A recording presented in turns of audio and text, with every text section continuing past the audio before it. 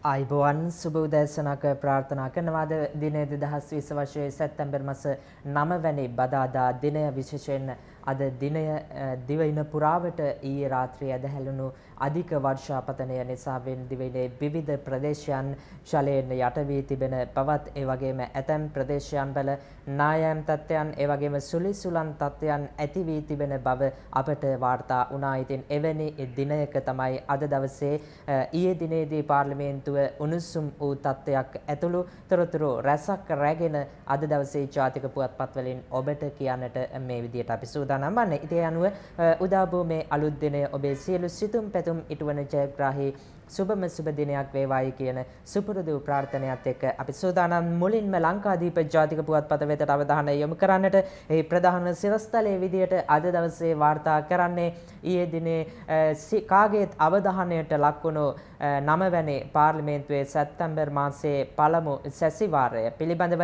ඒ තමයි මරණීය දණ්ඩනය නියම වී සිරගතව සිටින පසුගිය මැතිවරණයෙන් රත්නපුර දිස්ත්‍රික්කයෙන් දෙවැනි ස්ථානය දිනාගත් ප්‍රේමලාල් ජයසේකර මහතා පාර්ලිමේන්තුවේ දිවුරුන් දීම ඊයේ දිනේදී සිදු වුණා. මේ කාරණයක් එක්ක පාර්ලිමේන්තුව තුළ ඊයේ දිනේ උණුසුම්කාරී තත්ත්වයන් ඇති වුණා. ඉතින් ඒ පුවත මේ විදියට ලංකාදීපේ වාර්තා කරනවා. ප්‍රේමලාල් දිවුරද්දී විපක්ෂය එළියට බහි විරෝධය දක්වන්න කළු සාටකත් පැළඳගෙන ඇවිත් කියලා තමයි ඡායාරූප වාර්තාවක් සමගින් මේ සටහන අරගෙන එන්නේ.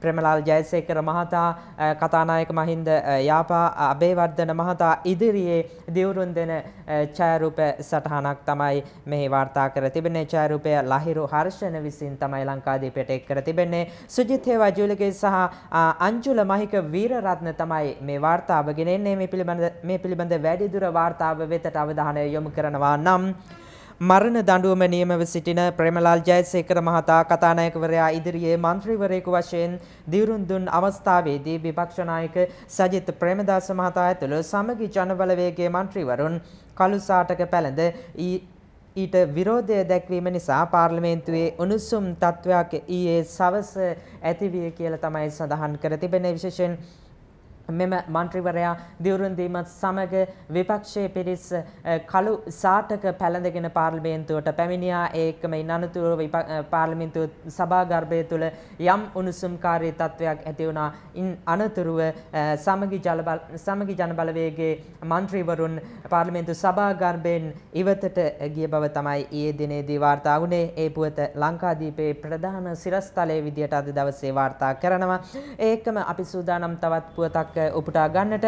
යකඩ කෑලි ඕන තරම් මාළඟ තියෙනවා. නිදහස් නොකොලොත් බන්ධනාගාර ලොක්කා එක්ක සෙට් එකම මරණවා කියලා තමයි මෙහෙම කියන්නේ.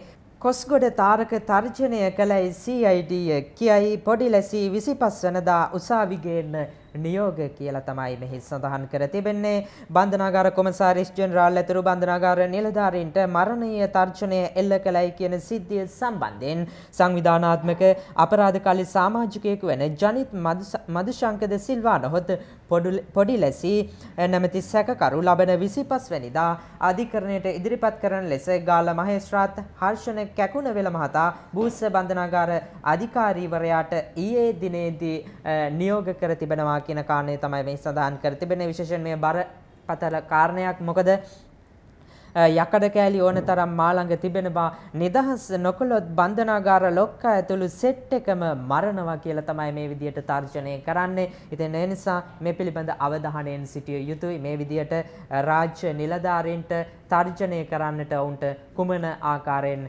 කාගේ බලයක් ලැබිලාද කියලා තමයි ප්‍රශ්නාර්ථයක් තිබෙන්නේ. මේ පිළිබඳව ගරු ජනාධිපතිතුමනි අග්‍රාමාත්‍යතුමනි ඔබේ අවධානය යොමු කරන්න කියලා ගගන හිමිදිරිය තුලින් විශේෂයෙන් මතක් කර සිටිනවා. ඒ වගේම සමගි ජනබලවේගයේ පිරිසක් මාදුරුවාවේ සෝපිත අපේ හාමුදුරන් වහන්සේගේ පිළිරුව ඉදිරිපිට ඊයේ දිනේදී යම් විරෝධතාවයක් නිරත වුණා. එහි ඡායාරූප සටහනක් සමගින් තමයි මේ වාර්තාව ගෙනෙන්නේ. විස්ස එපා සමගි ජනබලවේග සිවිල් සංවිධාන විරෝධතාවක් කියලා තමයි මෙහි වාර්තා කර තිබෙන්නේ 20 වෙනි ආණ්ඩුක්‍රම ව්‍යවස්ථා සංශෝධනයට එරෙහිව සමගි ජන බලවේගය ඇතුළු දේශපාලන පක්ෂ හා සිවිල් සංවිධාන එක්ව පිහිටුවාගත් 19න් ඉදිරියට ජනතා ව්‍යාපාරය සංවිධානය කළ විරෝධතාවයක් විපක්ෂ නායක සජිත් ප්‍රේමදාස මහතාගේ ප්‍රධානත්වයෙන් බත්තරමුල්ල අපේ ගම පරිශ්‍රයේ ඉදිරිපිට පිහිටි මාදුරුවාවේ සෝපිත හිමියන්ගේ පිළිරුව අභියසදී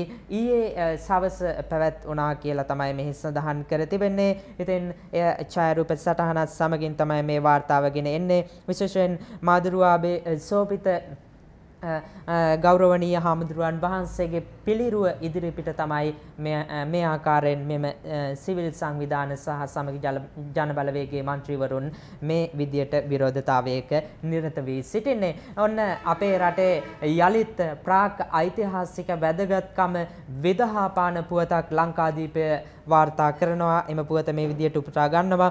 අවුරුදු 48000කට පෙර මානවයා ජීවත් වූ නවාතැනක් පාහියන් ලැනට සමාන ඓතිහාසික ගල් ලෙනක් වලල්ලා විට කඳු මුදුනක කියලා තමයි මේ වාර්තාව ගෙනෙන්නේ. සිඩ්නි විශ්වවිද්‍යාලයේ ආචාර්ය නිමල් පෙරේරා මහතා තමයි මේ බව ප්‍රකාශ කර තිබෙන්නේ. මේ පිළිබඳව වැඩිදුර වාර්තාව වෙතට අවධානය යොමු කරනවා නම් එහි සඳහන් කර තිබෙනවා.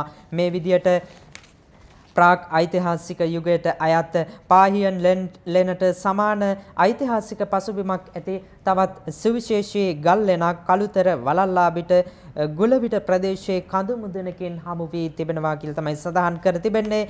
මෙය නූතන මානවයා මීට අවුරුදු 48000කට පෙර ජීවත් වූ බවට සාක්ෂි හමු වී ඇති පාහියන් ලෙන තරම් පැරණි එකක් බවත් එහි සිදු කළ මූලික පරීක්ෂණයේදී ප්‍රාග් ඓතිහාසික යුගයේදී මානවයා පදිංචිව සිටි තොරතුරු පදිංචිව සිටි බවට තොරතුරු සහ සාක්ෂි හමු වූ බවත් ආචාර්ය නිමල් පෙරේරා මහතා ප්‍රකාශ කර තිබෙනවා.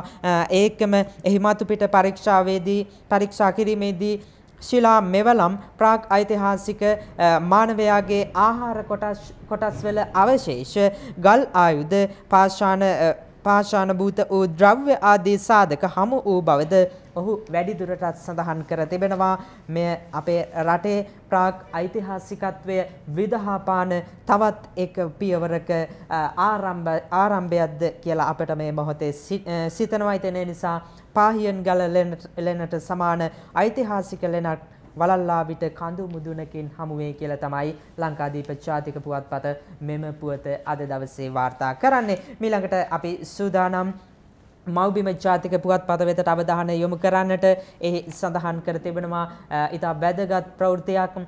අපේ රටේ කාලයක් තිස්සේ කතාබහට ලක්වන භික්ෂූන් වහන්සේලා තුළ එවැගේම ආගමික නායකයන් තුළ ආගම් තුළ රටේ ජනාධිපතිවරුන් අග්‍රාමාත්‍යවරුන් තුළ ජනතාව තුළ කතාබහට ලක්වන මාතෘකාවක් පිළිබඳ අග්‍රාමාත්‍ය මහින්ද රාජපක්ෂ මහතා විසින් සුවිශේෂී තීරණයක් ගෙන තිබෙනවා. ඒ තමයි මව්බිම ප්‍රධාන සිරස්තලයේ විදියට වාර්තා කරන්නේ ගව ඝාතනය තහනම් අගමැතිගේ යෝජනාව මන්ත්‍රී කණ්ඩායම සම්මත කරයි කියලා තමයි සඳහන් කරන්නේ. WK ප්‍රසාද් මංජු තමයි මේ වාර්තාව මව්බිමට එක් කරන්නේ. ගව ඝාතනය මුළුමනින්ම නතර කිරීමට පියවර ගන්නා බවත් ඊට අදාළ නීති රීති කඩිනමින් සකසන බවත් අග්‍රාමාත්‍ය මහින්ද රාජපක්ෂ මහතා මෙහිදී අවධාරණය කර තිබෙනවා. විශේෂයෙන් මේ ගව ඝාතනය සම්බන්ධයෙන් අපේ රටේ 2015 වර්ෂයේ මගේ මතක හැටියට හැටියට නුවර දළදා මාලිගාවේ ඉදිරිපිට භික්ෂුන් වහන්සේ නමක් විසින් සියදිවි හානි කරගත්තා සිරුරට ගිනි තබා ගනිමින් ඉතින් එදා සිට තවමත් මේ ගව ඝාතනය අපේ රටේ තහනමට ලක් වුණේ නැහැ. ඉතින් ඒ නිසා මෙය තහනම් කරන්න අග්‍රාමාත්‍ය මහින්ද රාජපක්ෂ මහතා විසින් යෝජනාවක් ගෙන ගෙන තිබෙනවා. ඉතින් ඒ යෝජනාවට මන්ත්‍රී කණ්ඩායම ඒකමතිකව සහයෝගය ලබා දීලා කියලා තමයි සඳහන් කර තිබෙන්නේ. විශේෂයෙන් මේ අවස්ථාවේදී වන විනාශය සම්බන්ධයෙන්ද කතාබහට ලක් වී තිබෙනවා.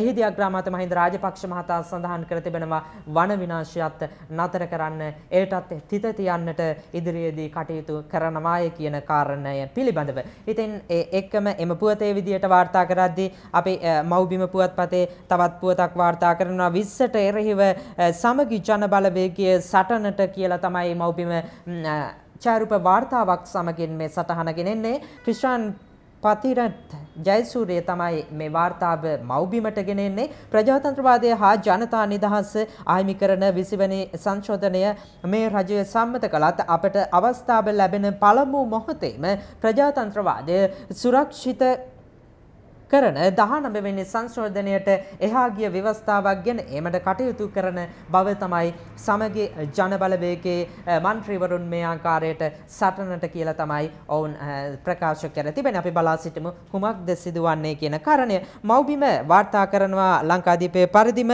විපක්ෂය කළු සාටක පැළඳ එලියට බසී කියලා ඡායාරූප සටහනක් සමගින් ජේටීද සිල්වා සහ පහන් විජේසේකර තමයි මව්බිමට මේ පුවත වාර්තා කරන්නේ. බන්ධනාගාරයේ සිට පාර්ලිමේන්තුව වෙත රැගෙන ආ ප්‍රේමලාල් ජයසේකර මහතා රත්නපුර දිස්ත්‍රික් මන්ත්‍රීවරයා මන්ත්‍රීවරයා ලෙස කතානායක මහින්ද යාපා අබේවර්ධන මහතා ඉදිරියේදී ඊයේ දිනේදී දියුරුම් දෙන අවස්ථාවේදී සමගි ජන බලවේගයේ මන්ත්‍රීවරුන් මේ විදියට කළු සාටක පැළඳ පාර්ලිමේන්තුවට පැමිණි බව තමයි මේ විදියට වාර්තා කර තිබෙන්නේ.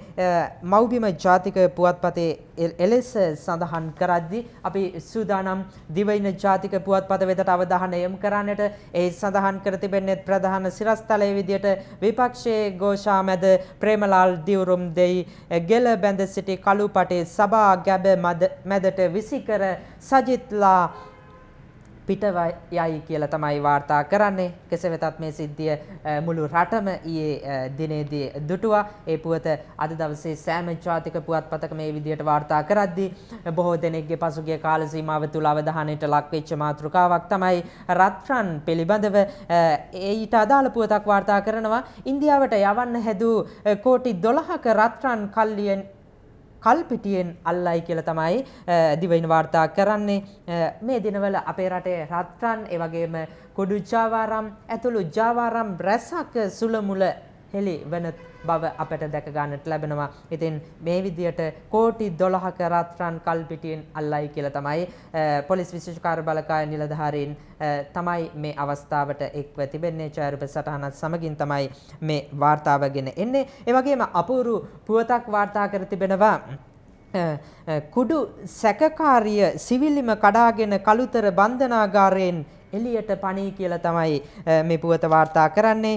මේ පිළිබඳ වැඩිදුර වාර්තාව වෙතට අපි අවධානය යොමු කරනවා නම් කුමන ආකාරයෙන්ද මේ සිදුවේ කියන කාරණය පිළිබඳව හෙරෝයින් අලෙවි කිරීම හා සන්තකයේ තබා ගැනීම සම්බන්ධයෙන් කළුතර බන්ධනාගාරයේ රඳවා සිටි කාන්තාවක් සිරගෙදර සිවිරිම කඩාගෙන වහලයට නැග තාප්පයෙන් පැන ගිය පුවතක් ඊයේ සවස 4:30ට පමණ වාර්තා වී තිබෙනවා.